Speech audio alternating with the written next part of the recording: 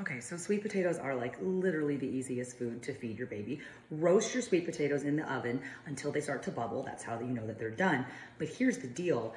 Don't let them get cold before you peel them, all right? You want it so it's like just hot to the touch. Like I'm kind of burning my fingers here right now, but look how easily the sweet potato skin removes from the flesh when they're still pretty hot.